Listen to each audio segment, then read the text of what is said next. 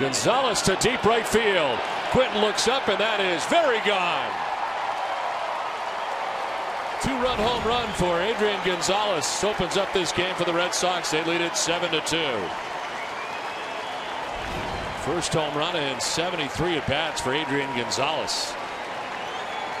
Number 18 on the season for Gonzalez. RBIs number 88 and 89.